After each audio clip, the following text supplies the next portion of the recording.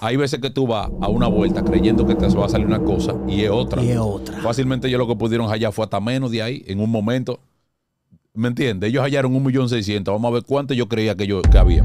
Porque todo el mundo le ha caído encima a la policía diciendo ¿por qué mataron a esos dos jóvenes? No, que un enfrentamiento, una...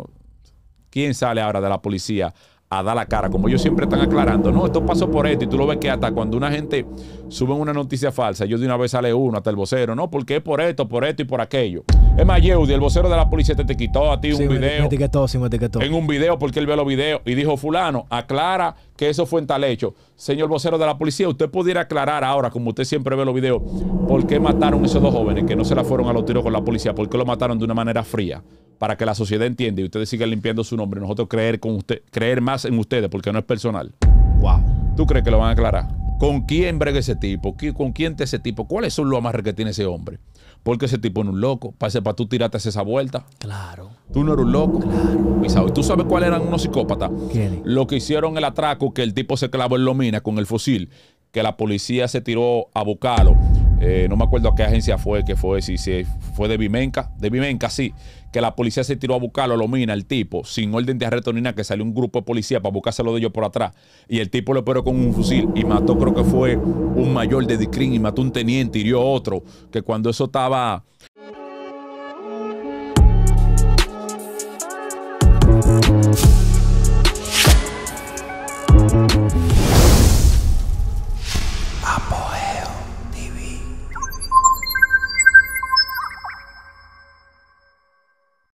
Señores, bienvenidos a Pogeo TV. Estamos activos, estamos activos, estamos activos. Realmente no debí de, de aplaudir, ya que es un hecho lamentable lo que acaba de suceder. Eh, lo que sigue sucediendo y lo que se- seguirá sucediendo, señores, porque es una historia que se repite cada vez más frecuente. Varón, nuevamente estamos hablando prácticamente de lo mismo, de la calle, su consecuencia, Los juideros, los correderos, los robos, los resultados, hermano. ¡Ey! a vuelta, los traques, los atracos.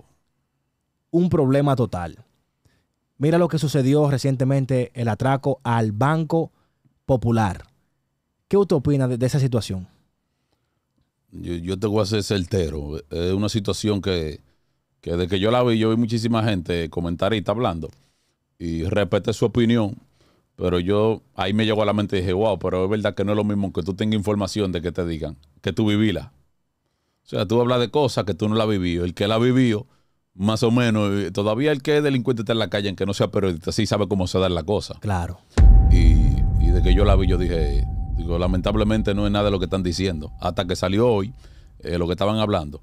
Eh, yo vi un par de noticias que hicieron hasta mapas, de que se fueron por aquí, que se fueron por aquí, que esto, que aquello. Y yo dije, tuve esa gente que, que corrieron en el mismo vehículo, aquí mismo en la capital, después de un robo, y no se desmontan del vehículo para dejar ese vehículo y coger otro en un punto ciego, porque tú sabes que la capital está lleno de cámaras. Claro. Y lo primero que hace la policía es, cuando hay un robo o hay un homicidio, es hacer un levantamiento.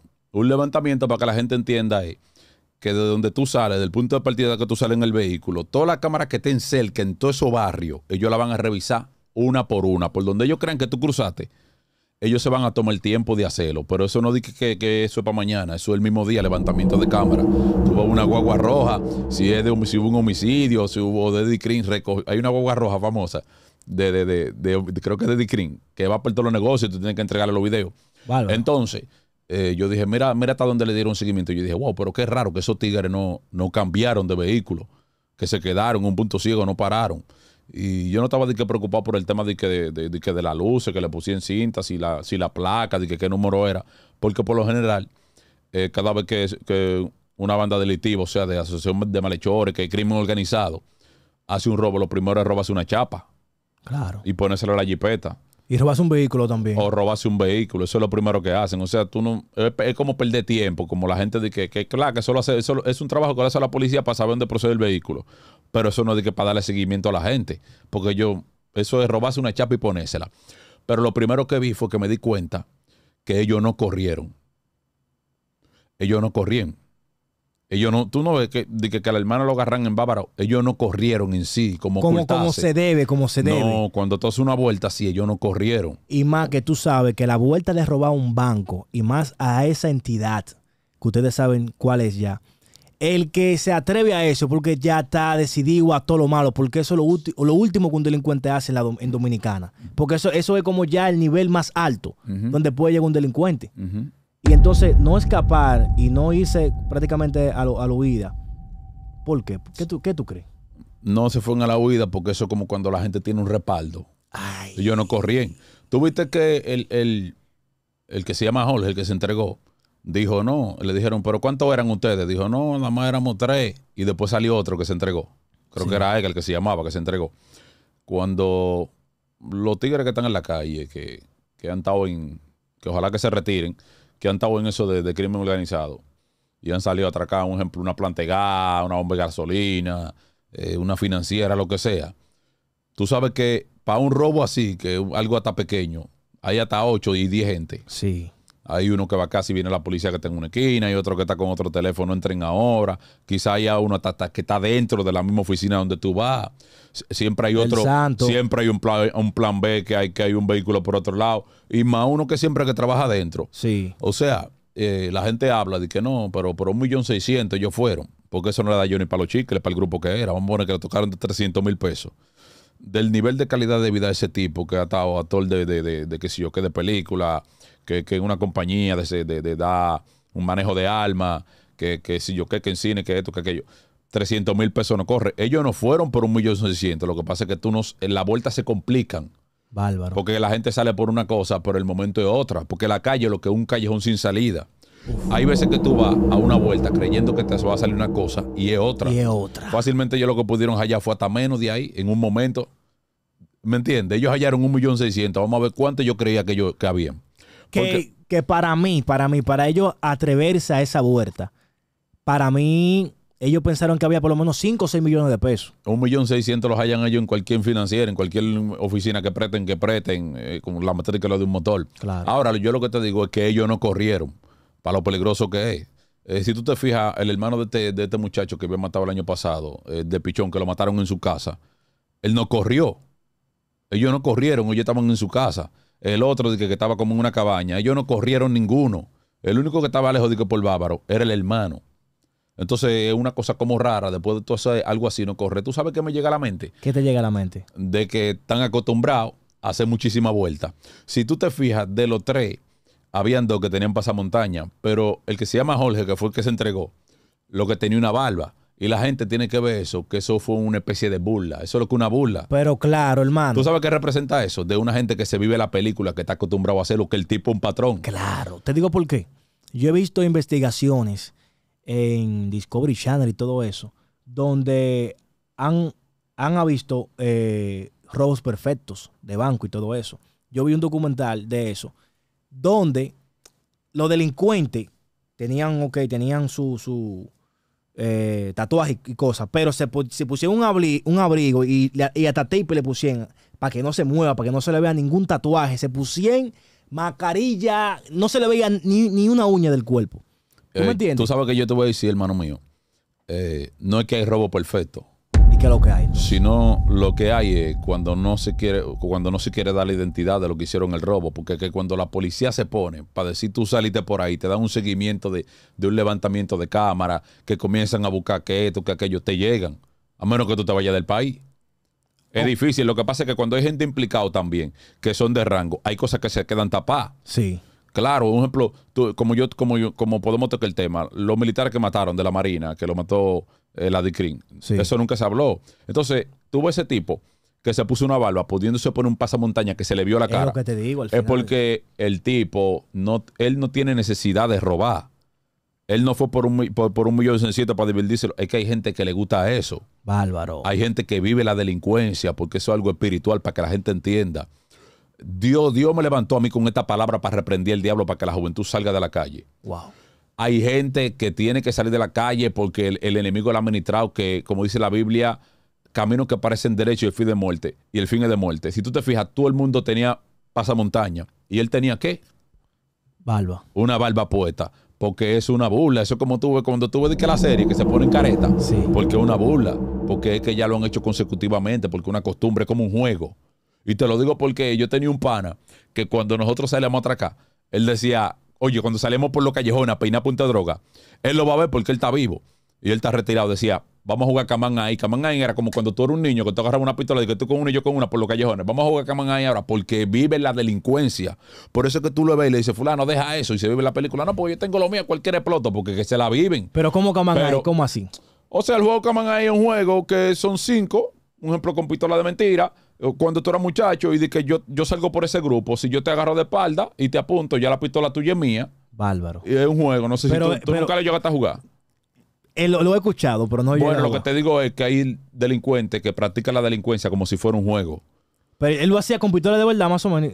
Eh, No, eh, nosotros lo hacíamos, nosotros cuando éramos niños lo jugábamos, pero Ah, cuando ya. éramos grandes, que salíamos a hacerlo atraco, a peinar, a a punto de droga, él decía, vamos a jugar Caman ahí, Ya. porque el tipo estaba frustrado. Ya, ya, ya. te lo, copié. tenía, lo tenía como un juego, para Te él no era nada. Entonces, ¿qué pasa? Lo que te digo, el, el él ponerse una, una, una barba, lo que significa es la mentalidad del tipo, que está acostumbrado, Bárbaro. que para él es un juego. Bárbaro. Pero hay otra cosa que yo me di cuenta, ellos no corrieron, pero para mí que la policía lo quiso dejar vivo a él. ¿Por qué? Lo quiso dejar vivo porque a los otros dos los mató sin que ellos le, le repelieran la agresión, que no le tiraran, no lo agarró, con la no, no fue un enfrentamiento y a él ellos pudieron llegarle. No era que la policía no sabía dónde, dónde él ¿Dónde, estaba. dónde él estaba? Ya. Hay delincuentes que se equivocan. Yo dije una vez que yo estaba en una oficina de la policía, habíamos un grupo, y lo voy a decir con nombre porque ya está muerto. Había un delincuente de, de la Francia que se llama Cachón, o se llamaba, y, y yo me acuerdo que había un policía, no voy a decir el nombre, pero mucha gente lo va a conocer, un policía que era durísimo, un teniente en ese tiempo, que tiene los ojos verdes, un indiecito. Y él dijo, un pero diecito que de tiene los ojos verdes. verdes, sí, muy sonado fue en Villa Duarte. Tipo muy, muy inteligente. Yo Pero creo que él era está- eh, académico. falleció. No, está activo. Está activo, sí. Y, y yo me acuerdo cuando él dijo, eh, Cachón está en el tamarindo. No creo que fue que dijo donde un hermano y él tiene un tiro en la planta de los pies. Pero no vamos a ir a gastar gasolina para allá a buscarlo. Vamos a esperar que él venga. Porque la policía sabe, este país así, este país es un granito así, la policía sabe dónde se mueve todo. Ahora, lo que la policía parece que hizo fue dejarlo vivo a él y dos para justificar. ¿Entiendes? Entonces, yo, yo de que vi la acción, yo dije, la policía lo, lo- parece que el tipo un patrón. Te digo, te digo para mí, por qué yo voy contigo, lo que tú dices, que estoy de acuerdo contigo. Porque antes de él entregarse, él dio una versión que dijo, no, realmente fui yo, era yo que estaba implicado, mi hermano no tenía nada que ver con eso. Y cuando la agarran, que le hicieron la entrevista, eh, la pequeña entrevista que le hicieron los, canales televisivos, él dijo de que no, no, no, no, realmente como que fue el hermano, como que planeó eso, que él nada más le buscó el uniforme. O sea, como en ese pequeño espacio que él vino de, allá, que lo trajeron para acá, lo asesoraron legalmente, papá. Viejo, ¿cuál es la necesidad de que la policía mate dos jóvenes que no, no están representando peligro para ellos, que hicieron un robo, no le dieron un tiro a nadie? No eran como Percival, que Percival se tiraba y barría, mataba, Va- mataba el seguridad. Ellos hicieron un robo, que está mal, roban, pero no, no demostraron agresión, no corrieron, se quedaron aquí mimito, fue un solo que se fue para Bávaro. ¿Quién se fue para Bávaro? El cabecilla, los otros se quedan aquí porque para ellos estaba frío. Entonces, ¿para qué tú tienes que matar a esos dos jóvenes? ¿Por qué hay que matarlos? Para que no hablen, quizá. ¿Por qué hay que Digo matarlo? yo, digo yo. Porque la policía, lo que eh, en este país se maneja así, de una manera tan mala y, y- y- y con tanto misterio, que lo que crea es como una incertidumbre en la sociedad y comienza todo el mundo a especular. Un periodista allá dice una cosa, otro periodista dice otra, otro fulano dice otra, y todo el mundo comienza a hablar, y todo el mundo entonces para distorsionar, y al final nadie quede la realidad. Al final, al pasó. te voy a decir al final, al final, al final, todo el mundo da su versión y nadie da en el clavo de lo que pasó. Bárbaro. Porque es que te matan dos gente, te silencian dos gente y te dan uno vivo, que no había que matarlo. Si tú te fijas, como dice la mujer de uno de ellos, no, yo le dije que no lo maten, que si es mi marido, que tengo hijos, y le dijeron, tú lo vas a criar sola. Wow, le dijeron así. Y lo mataron. Entonces, cuando tú ves esa clase de cosas y tú ves que te dejan uno vivo y tú ves el nivel de ese tipo de educación, el nivel de trayectoria y de trabajo de ese tipo, no tiene necesidad de ir a robar un banco. Y no fueron por un millón seiscientos, quizás ellos fueron por más, pero para ellos ir, por más es porque otra gente le dijo que había más. Claro. Incluso, mira, yo vi un video, eh, que lo voy a decir, donde el, el pana que agarraron estaba hablando como con uno eh, eh, de, de la compañía donde, donde hicieron atraco, porque tú sabes que realmente eh, la entidad bancaria contratan a, a- a personas que muevan su dinero. No son ellos mismos que lo mueven. ¿Tú sabías eso? Sí. Entonces yo vi como un video como que él estaba hablando con una gente de, de- que era de- que, que era que era colaborador, o sea, que era, que era empleado de la compañía donde hicieron el atraco. ¿Tú crees que, que obligatoriamente tuvo que existir una persona dentro de, dentro de, ese- de- o sea, que, que vendiera, eh, o sea, que fuera el santo? Te voy a decir algo. Es difícil cuando, cuando tú vas a mover una logística de, que de chaleco, de, que de ropa, mover un vehículo. Tú no te mueves a suelto, ¿verdad? Tú te mueves porque a ti te llamaron y te dijeron, hay tanto. Y tiene que ser una gente de adentro. De adentro, Eh, bárbaro. eh, y te lo digo porque ese tipo no está, no, no fue atrás de un millón seiscientos mil, que eso se lo daban al prestado del banco, con el crédito de ese tipo y la vida de, de trabajo de ese tipo, de la, laboral de ese tipo. Él no fue por eso, eso te lo prestan a ti en el banco, a cualquiera. Ahora, yo te voy a decir algo. Eh, el crimen organizado, porque la gente opina y opina, opina. Usted no sabe, usted no lo ha vivido, usted está hablando de lo que usted oyó de otro. El crimen organizado se trata de gente cuando van a un tumbe que tiene que haber siempre uno de la compañía o que trabajaba ahí o que trabaja ahí, que sabe todo. que sabe la vuelta entera. Yo te voy a repetir esta historia. Yo fui, yo creo que eso fue de la cosa más organizada que, que pudimos hacer y no se dio. Atracó una planta de gas central, yo te dije. Y con lo que nosotros, cuando yo vi el perfil del tipo, de que, que Olifán, que el tipo era de trabajo, de que, que estaba en una compañía de que, que, que, que te enseñaban a manejar, a mí no me sorprendió eso.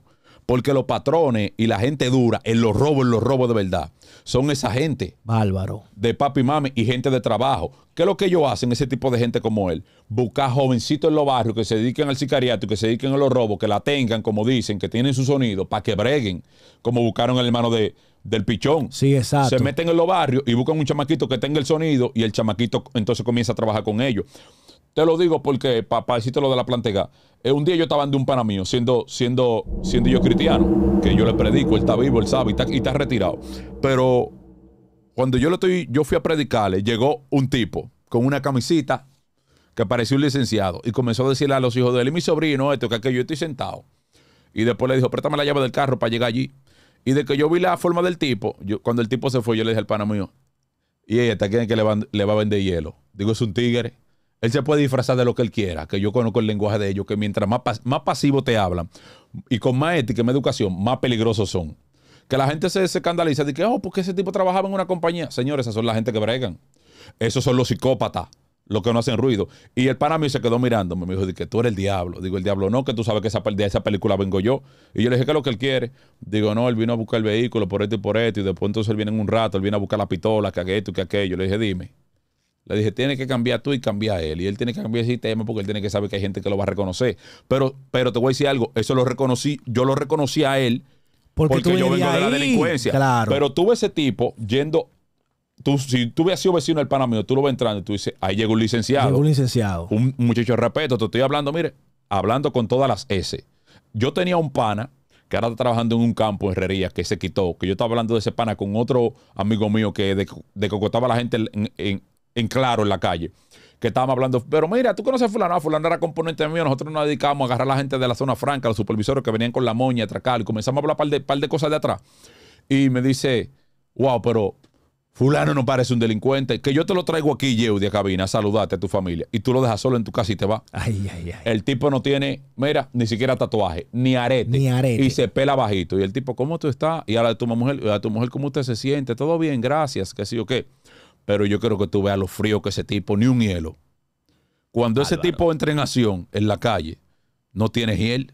Entonces a mí no me asombra que del perfil de ese tipo, o sea un profesional, o que sea un abogado que tenga implicado un robo, que sea el psicópata, que sea el que abre- Eso a mí no me asombra, porque yo estoy cansado de verlo. Yo estoy cansado de ver gente en la calle con saco y corbata. Yo conocí un tipo que para atracar se vestía fino. Un licenciado. ¿Por qué tú sabes que la policía lo que anda buscando gente, lo que tienen por radio es de perfil sospechoso? Claro. Y ellos lo que tratan es no tener perfil sospechoso. A mí me agarraron una vez que fui a atracar un tipo con otro pana mío. Y la policía, yo siendo policía, que me le fui esa vuelta, él lo mina. Él lo va a ver la entrevista y él está vivo. Y la policía me hizo más presión a mí que el delincuente que andaba conmigo, porque el delincuente que andaba conmigo no parecía un delincuente, yo parecía más delincuente que él Ya tú sabes. de la forma bajo perfil de él. Pero vete a ver, un tipo que ha estado en que si yo cuánta banda y que lo conocen en todos lados y que viene de, viene de hacer de, de- de un, de un robo frustrado eh, en, una, en un banco. Bárbaro. que no voy a decir dónde fue porque muchísima gente lo sabe, que ahí mataron uno de mi barrio que le dieron un tiro en un pie, un amiguito mío, que, que fuera muy querido en el barrio, que se desangró, que supuestamente esa es la versión. Viene de hacer cárcel porque le han agarrado un carro lleno de droga, viene de... Y yo, yo te lo traigo y tú dices, no es un ángel. Entonces a mí no me sorprendió eso. A mí lo que me sorprendió fue que ellos no corrieran.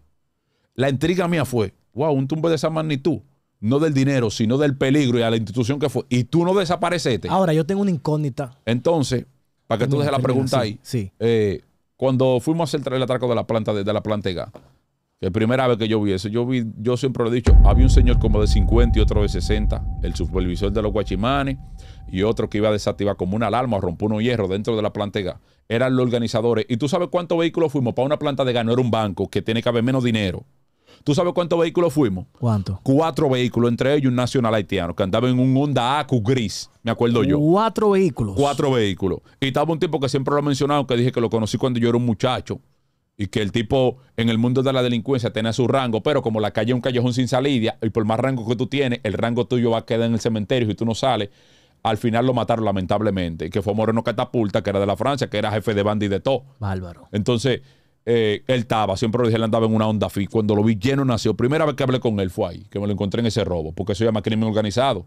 Me buscaban a mí, el pana mío, y a él lo buscan por otro lado, los cabecillas, y nos juntamos todos. Porque, como te digo, buscan tigres de barrio, jóvenes de barrio, que no tengan su cabeza bien puesta, porque eso no es tigueraje, y lo meten ahí. Entonces, el patrón era él ahora. ¿Con quién brega ese tipo? ¿Qui- ¿Con quién te ese tipo? ¿Cuáles son los amarres que tiene ese hombre? Porque ese tipo no es un loco. Para, para tú tirarte esa vuelta. Claro, Tú no eres un loco. claro. Porque yo te iba a decir a mencionar eso también, mira. ¿Tú sabes Tú cuáles son unos psicópatas? ¿Quiénes? Espérate, que la vine con ella pisado. ¿Y tú sabes cuáles eran unos psicópatas? ¿Quiénes? Lo que hicieron el atraco, que el tipo se clavó en Lomina con el fusil, que la policía se tiró a buscarlo. Eh, no me acuerdo a qué agencia fue, que fue, si fue de Vimenca, de Vimenca, sí, que la policía se tiró a buscarlo, Lomina, el tipo, sin orden de arresto ni nada, que salió un grupo de policía para buscárselo de ellos por atrás. Y el tipo lo operó con un fusil y mató, creo que fue un mayor de Dicrin y mató un teniente, hirió otro, que cuando eso estaba eh, ahí en la Gómez, el Dicán, que barrió con dos Bárbaro. del Dicrin, que lo esperó con un fusil, esos tipos sí no tienen su mente bien puesta. Esos tipos no tenían cabecilla, los cabecillas eran ellos. Pero aquí este tipo, tú estás hablando de ese tipo. Pero, pero, ¿qué, grande qué- liga. cómo, cómo resultó? Porque no recuerdo eh, ese. No, no, el tipo lo mataron Lo al final. ahí mismo, Pero él, mismo- él mató dos. Pero él y- mató y dos. hirió uno. Eso quiere decir que al final él era, él era el, el líder, al final. Sí, mató, lo esperó con un fusil. Ahora te voy, te voy a- te voy a mencionar algo. Dos atracos a entidades bancarias. Una al Popular y otra al Banreserva. Agarraron al del Popular. A todito, mataron dos y hay uno, hay uno preso. ¿Qué pasó con lo de Banreserva? Que no se ha mencionado más nunca eso. Eh, yo vi la noticia hoy que lo agarra- agarraron como, como que recuperaron un millón quinientos. Ah, recuperaron un millón quinientos. Sí, de lo que yo, de lo que se robaron. Pero Y como que agarran un tipo, Pero que eso no ha salido de Pero- que tanto así como no- este pero- del Popular. pero no le han dado auge. No le dieron, no le dieron como el mismo, no le dieron como el mismo énfasis que le han dado a esto. Y si tú te fijas, ya en esto matan dos. Pero que te matan dos, pues yo, la, la pregunta que le hacemos a la Policía Nacional, que creemos, vamos, vamos a darle un voto a favor, que creemos que va a cambiar, aunque sea de aquí a, dos, a, a 700 años. ¿Por qué mataron dos jóvenes que no representaban un peligro, que no lo estaban esperando armado, con violencia, que no fue un tiroteo, que no... Dijeron que fue un enfrentamiento. Tú no te fijas que primero la policía dijo que fue que lo mató en un enfrentamiento, disparo, una, bala- una, una balacera. Sí. Y después se descubrió que no, que fue que se metieron a la casa de uno y lo mataron. Y se metieron a otro lado, no sé si fue una cabaña o un hotel, Una y- cabaña, y mataron sí. al otro. Pero primero la versión, pero eso fue cuando la versión, cuando la realidad sale a la luz, que ya ellos no se, no se pueden retratar. Ahora, ¿por qué matan a dos y al otro no lo mataron? ¿Por qué no lo mataron el que era cabeza? Está pegado. O hay algo raro ahí, no sé, no sé qué. No sé, pero hay, hay algo raro ahí. Yo, hay algo raro. yo lo que te puedo decir es que ese tipo no es un loco. Ahora, lo que me llama más la atención, que lamentablemente ese resultado, señores, de la calle, ustedes lo saben y nosotros siempre lo vivimos diciendo aquí en Apogeo. Lo que me llama más la atención, Rubén, es que lamentablemente, Pichón, que lo mataron hace varios años ya, la madre en ese entonces dijo, en su- ella estaba, se hizo viral ese video, ella estaba en el ataúd diciendo, no, que si yo qué, eh, lo que me llena de orgullo es que nadie tuvo valor de enfrentarte, que sí o qué. Pero todavía me quedan cuatro cartuchos más. Y mira ahora cómo resultó. Uno de los de lo que mataron, lamentablemente, era hijo de ella. O sea, al final, la crianza de las madres, o sea, de los padres, influye mucho. Porque quizá esa señora, no la conozco, si no es así, disculpa, pero ya se ve que un apoyador, hermano. Y vamos a darle un consejo. Sí, por Eh, favor. eh, eh, señores, no, no hay crimen perfecto. Eso es la película que usted lo ve y en Discovery Channel. Es, lo que hay es gente que hacen vuelta y tienen sus conexiones y cuando la policía los sale a buscar, pagan y siguen corriendo y di que nunca se dio con el caso. Se lo digo yo porque yo he tenido amigos de Dicrin que dicen, estoy loco por toparme con un caso. Un caso, Yeudi, es lo siguiente, que tú agarras y te robas un millón, tú andas corriendo, se dio una alerta, yo salgo a buscarte a ti. Busco información donde sea, sin nadie, sin nadie mandarme, sin una orden de arresto personal, sin tocarme buscar, sin tú estás bajo mi jurisdicción. Yo salgo y te busco, te empaqueto.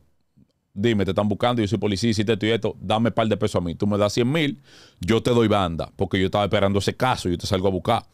Entonces, tú sigues corriendo y tú el que te agarre tú le das y cuando se te acaban los cuartos o te matan o tú vas preso. Pero mientras tú tienes cuarto, tú sigues corriendo. Es para que la gente entienda, no es que hay crimen perfecto. Entonces hay tigres que logran enfriarse, el caso se cae, pero no es que la policía diga que no supo quién fue. Señores, aquí nadie se burla de la policía. Yo siempre he dicho, la policía de este país es dura. No han matado pila de toro con tu tuma para que la gente entienda. Sí, sí, sí. Y el, pero mataron ese tulpen que, que, que la gente lo tenía como si nada y que la pluma Bárbaro. lo mataron, que se, que se fugó con radio y todo, que del setán camioneta y que dentro de los dos policías que lo llevaban de custodia había uno que estaba vendido. Bárbaro. Yo de que vi eso dije, tiene que haber un policía ahí obligado, implicado. Así mismo había uno que le dijo al otro no tire, que esto y que lo otro, estaba implicado y se rindían, matan a uno, pa, y se lo llevan. Entonces, no hay crimen perfecto.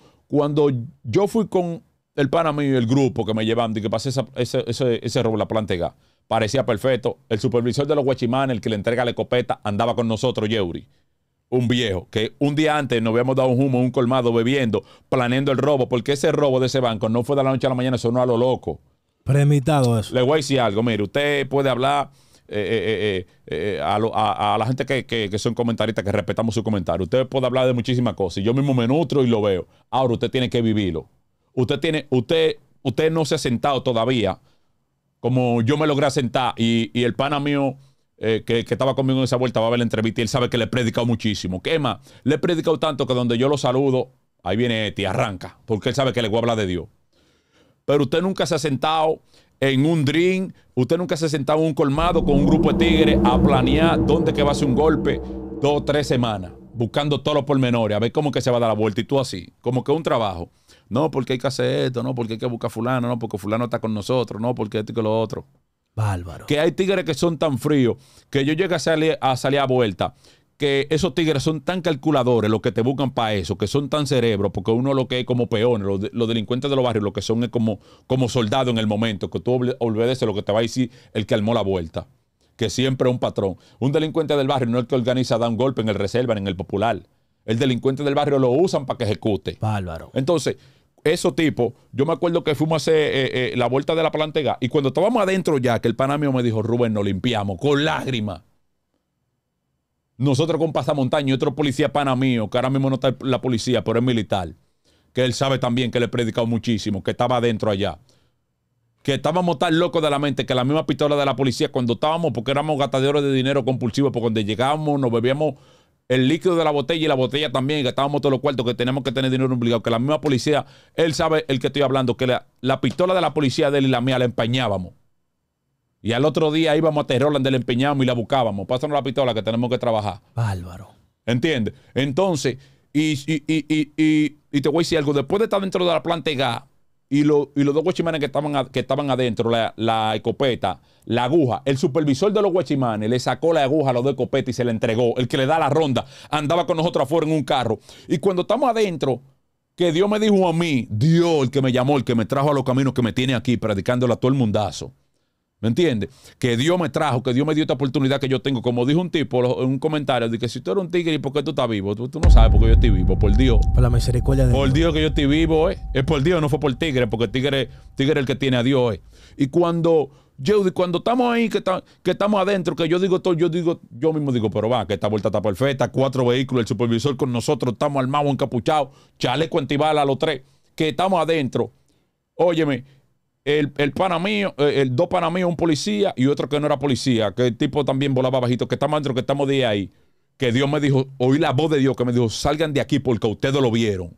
Y yo no sabía cómo decirle al pana mío, mira, yo oí una voz que me dijo que salgan, que no vieron. Y miro para arriba, miro para todos lados, no veo a nadie. Y yo digo, no puedo decirle esto a este tipo porque va a decir que yo soy un cobarde. Oye, ¿tú sabes quién nos dijo que salga a nosotros? Uno de los de afuera llamó así. Salgan corriendo que viene el López. Él no dijo a la policía, viene el López, vestido de civil. O sea, ese tipo, de nosotros de ahí, de- de- del dinero, abortó una misión porque esos tipos que, que planean eso tras que no andan aventurando. No andan aventurando, Y, no y te lo digo yo, no te arriesgan. Hay vueltas que tú vas y ellos ven nada más que pasó un carro que no debió. Oye, un carro que yo veo sospechoso, te lo digo yo. Un carro que ven sospechoso, que es lo que muchachos, tomemos eso para otro día, porque son tipos fríos. Y ese tipo inteligente, sabe que inteligente, calculador. De que, que haya cambiado la versión, yo puedo decir varias versiones. Quizá para él, para él cubrirse, porque ya si, si ellos están muertos, vamos a echarle la culpa a ellos que te metieron a ti para que la pena sea más, más liviana, porque dime tú, él se le tiene que josearse la de Sí, una sí, otra sí, sí, manera. claro, claro. Pero no es por esa parte que yo digo que hay más gente implicada. Es que para esos robos así siempre hay como 10 gente. ¿Entiendes? Ellos salen atrás de una moña. Lo que pasa es que la calle es un callejón sin salida. Tú sales atrás de una cosa y te sale otra. A veces tú quitas una cartera creyendo de que te dijeron de que el tipo viene del aeropuerto, viene con 10 mil dólares. Y a veces lo que el tipo, los 10 mil dólares se lo clavó en otro lado del bolsillo, lo sacó de la cartera y la cartera lo que tiene 500. Sí. Y tú moviste un ejército atrás de 10 mil dólares y no te topa con nada. Porque ha suelto verdad. Entonces, porque un informante, como te digo. Entonces, eh, para el consejo para esa madre, mi doña, lamentamos que le hayan matado dos hijos. Lo lamentamos, no duele. Aunque no la conozca, porque son dos almas, son dos jóvenes. Y como ellos tan- estaban en la calle, yo estaba también. Y Dios me dio una oportunidad. Yo no vine aquí, yo no salí a la plataforma de las redes para jugar a nadie. Cristo dijo, porque yo no he venido a juzgar al mundo, sino para que el mundo sea salvo por mí. Yo vine a decirle al delincuente, Cristo cambia. Ahora, el hermano del que salió hablando, no, que mi hermano, que, que me busquen prueba. Ok, tú estás en tu derecho, ahora yo te voy un mensaje. Escapa por tu vida, busca de Dios. Bárbaro. Porque tú estás vivo. Y el que está vivo, el que la puede contar. Sal de la calle, tú estás viendo cuál es el fin de la calle. Tú puedes ser un evangelista, un predicador grande a través de tipo de venir mucha gente a los pies de Cristo. Ya el fin de la calle siempre es el mismo. El mismo. Y tú ves, oye, y hay un verso bíblico que habla la palabra, dice, porque la felicidad del hombre no consiste en los bienes que posee. O sea, esa gente salieron atrás de un dinero, ojalá habían sido 10 millones. 10 millones no valen dos vidas y le mataron dos Y le mataron. que no vuelven. Entonces, la felicidad del hombre, dice la Biblia, porque la Biblia, Dios es más adelantado al mismo sistema. Dios se adelanta a la misma avaricia que nosotros tenemos. La gente atrás del dinero y atrás de todo. Y al final, mira, triste. Yo estaba hablando con un pana hoy, que no voy a decir su nombre, que tenemos que hablar pendiente, que me tiró. Y me dijo, oye, mi hermano, yo vivo en Miami. Yo era de la 42. Me dice de Capotillo. Me dijo, loco, yo tengo todo lo que el pobre quiere tener. Yo tengo vehículo, yo tengo dinero, yo estoy bien, yo estoy ready. Me dijo. Me dijo, yo estoy aquí en Nueva York, yo tengo todo aquí en Estados Unidos, en Miami, perdón. Yo tengo todo. Lo que un pobre quiere tener. Yo me he esforzado y tengo todo. Yo estoy coronado. Me dijo, pero yo tengo una depresión que me está matando. Me dijo, estoy en mi habitación y la, la comida me la ponen en la puerta de habitación. Yo lo que vivo llorando y me quiero quitar la vida. Me dice él. Wow. Me dice él, yo voy a salir ahora a lavar el carro, pero yo estoy en una depresión que me estoy muriendo. ¿Por qué? Porque hay problemitas sencillos que se le presentan, pero al tú no tener a Dios, Dios te pone, el el enemigo te pone el problema de ese tamaño. Bárbaro. Entonces, ¿qué, qué yo aprendí a través de él? Tú tienes todo y estás depresivo y te quieres quitar la vida. Tú ves que la Biblia, la Biblia se adelanta a las actitudes del hombre para que tú no cometas los errores. Y la Biblia es consejería, un libro que no pasa de moda. Dice, la felicidad del hombre no consiste en los bienes que posee, que hay cosas que están en la tierra y tú dices, yo la voy a tener sea como sea. A la buena o a la mala, pero la voy a tener. Y después que tú la tienes, si es que la logra tener, al final tú dices, me siento incompleto. Y atrás de ella también puede perder la vida como la perdieron la vida. ¿Cómo tú estás y cómo estoy yo? No tenemos el millón seiscientos, pero estamos vivos. Pero estamos vivos, gracias a Dios. Lamentamos la muerte de Ya lo ellos. aumentamos. Pero para que tú veas la misma corrupción del país, no vamos a creer nunca en la policía hasta que no cambie. Lamentablemente, esto está sálvese quien pueda. Este país es de cerrarlo. De nuevo, la policía mata a dos gente que no pueden decir, mira el video, que nos tiraron un tiro, que, que- eran peligrosos, que nos la fuimos a, la- balazo con ellos. No. Fueron y lo mataron en su casa, encima de su mujer, con sus hijos. y matarlo. Y dice la mujer que lo reempujaron y lo agarran por un lado y, le, y, y lo avalían. Y después ella dice que, que le dijeron, no, fue en un pie que le dimos. Entonces, cruelmente mataron dos jóvenes que no representaban peligro, pero a otro, a otro toro con tutumi que tienen informaciones de ellos, no lo matan. Y dentro de los mismos matadores de los policías que andan matando, hay delincuentes, Yeuri, que tumban, que hacen de todo. Que yo te lo dije otro día. Hay policías que yo conozco de ellos, con nombre y apellido, no inventado, que yo no ando aventurando, con nombre y apellido de todo. Como me dijo un tipo los otros días, hubo un policía que mató a un muchacho en estos días que yo lo conozco. Y tú mataste a un muchacho, verdugo, que tú, porque yo vi la entrevista todo, tú mataste a un muchacho, verdugo, tú sabes que tú mataste, tú mataste a un muchacho que detrás de la casa de él hay un punto. Y a ti te ven que tú vas a buscar dinero atrás del al, al punto de droga. Y tú mataste a ese delincuente que era un delincuente, pero ustedes le cogen los cuartos y lo matan. Es el problema, que le cogen los cuartos a los delincuentes y también lo matan. Por eso que yo, yo digo, wow, pero que esto no, no hay forma. No hay forma. Y lamentablemente lo que yo le digo a la juventud, salgan porque siempre el delincuente que la tiene es que la tiene de perder. El delincuente lamentablemente siempre que la tiene de perder. Porque si no te matan en la vuelta, te va a matar la policía. Porque si no te matan los delincuentes, te mata la policía. Por eso yo siempre digo, señores, la salida de todo es Dios. Como dicen, la vuelta es Dios. La vuelta dio al final porque es que se ve, hermano, hermano Rubén, se ve y se sigue viendo al final que el resultado es lo mismo, no cambia. Te va a llegar como quiera, te va a llegar. Si no es la muerte, es la cárcel. Y si no es la cárcel, es el hospital. Y entonces es difícil que te lleguen eso, tú sabiendo que es el resultado. Porque, como dice Rubén, no hay vuelta perfecta. No, no hay, traque, no hay vuelta perfecta. Yo estaba, yo, yo estaba un poco que dije, concha, es verdad, aquí mismo. Tú hablando, No. tú hablando. Güey, y, po- y los policías lo saben.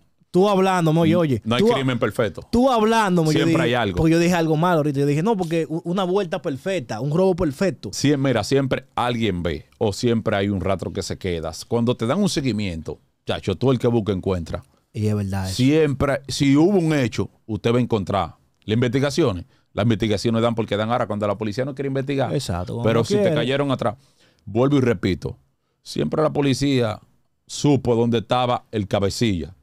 Vamos a matar todo, dejamos este vivo. Ellos saben siempre dónde está, te lo digo. Y se lo digo inventando, ¿no? Que yo lo viví, yo lo he visto.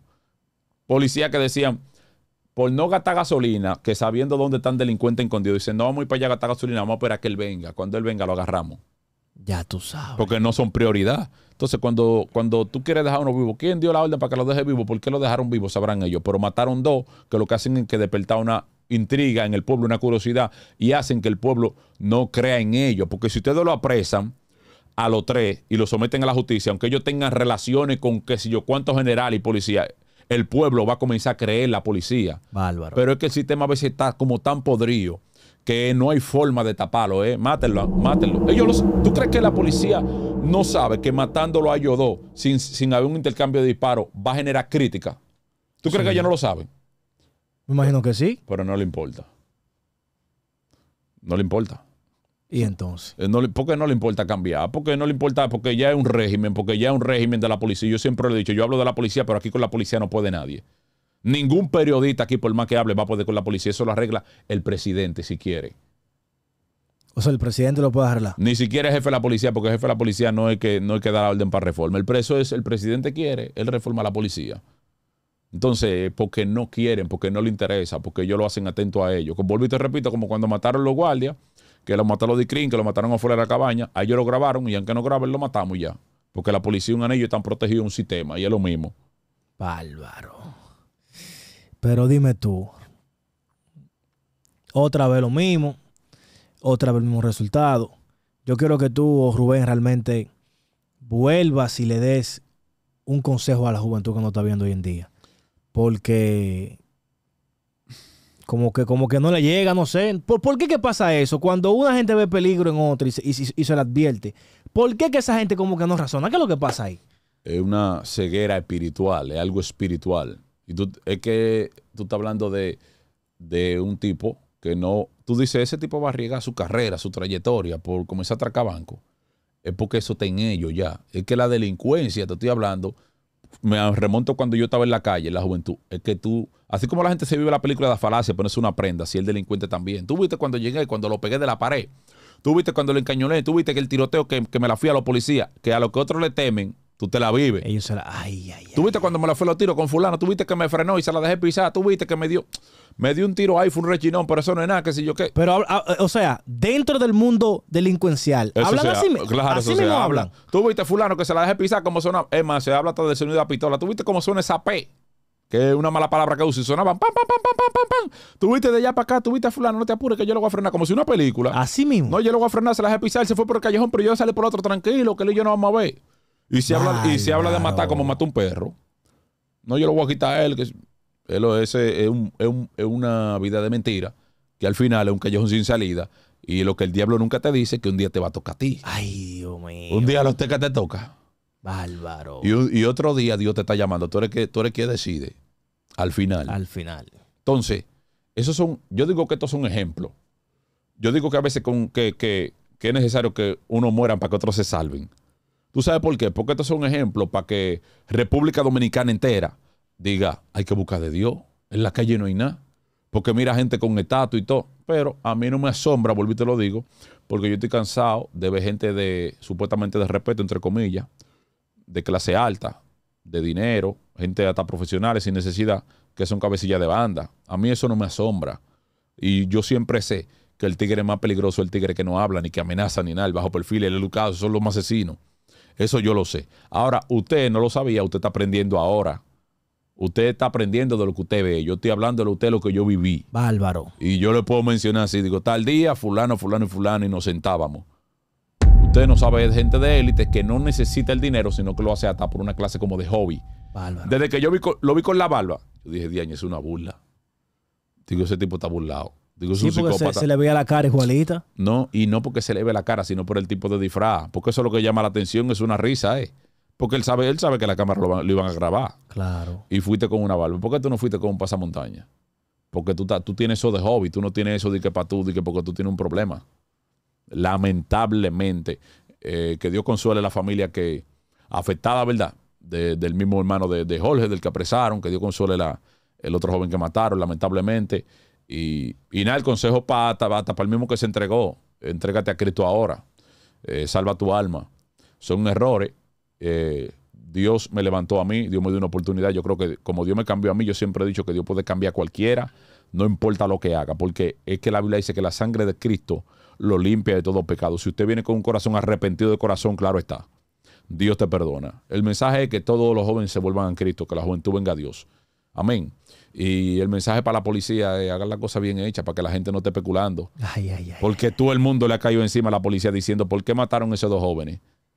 No, que un enfrentamiento, no. ¿Quién sale ahora de la policía a dar la cara? Como ellos siempre están aclarando, no, esto pasó por esto, y tú lo ves que hasta cuando una gente sube una noticia falsa, yo de una vez sale uno, hasta el vocero, no, porque es por esto, por esto y por aquello. Es más, Yeudi, el vocero de la policía te, te quitó a ti Sí, un me- video Me etiquetó, sí, me etiquetó. en un video porque él ve los videos y dijo fulano, aclara que eso fue en tal hecho. Señor vocero de la policía, usted pudiera aclarar ahora, como usted siempre ve los videos, por qué mataron esos dos jóvenes que no se la fueron a los tiros con la policía, por qué lo mataron de una manera fría, para que la sociedad entienda y ustedes sigan limpiando su nombre nosotros creer con usted, creer más en ustedes porque no es personal. Wow. ¿Tú crees que lo van a aclarar? No creo. No hay forma. No hay forma. Como no pudieron aclarar cuando mataron a los militares, la DICRIN, vuelvo y lo digo afuera de la cabaña, no hay explicación, lo que va a haber un silencio. Wow. La- es cuánto. Eh, no, realmente eh, yo creo que Rubén dijo todo claramente, verdaderamente, claramente. Eh, espero que sigan nuestras eh, conversaciones, que son muy interesantes. Y nada, suscríbanse, den like. Recuerden Amén. que nosotros no hacemos esto de que para que se suscriban, para que den like. Nosotros lo que buscamos es un verdadero cambio, que ustedes verdaderamente, los jóvenes que están en la delincuencia, traten de salir de ella. Y los jóvenes todavía que no han entrado, que no intenten entrar, porque ya ustedes conocen los resultados. Así que nada, Apogeo TV se despide. Síguenos, síguenos en nuestras plataformas digitales, Apogeo TV, eh, Rubén Rayita Bajo Z.